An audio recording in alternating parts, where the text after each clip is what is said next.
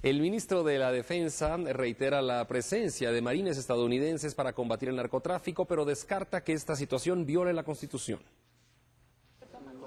No es paso de un ejército ni tampoco la instalación de una base. Ellos están aquí y no están dirigiendo las operaciones. Estamos coordinando, estamos actuando dentro del concepto que nosotros llamamos una operación conjunta porque participan fuerzas de tierra, aire y mar y combinada porque es con la participación de Fuerzas Armadas de otros ejércitos.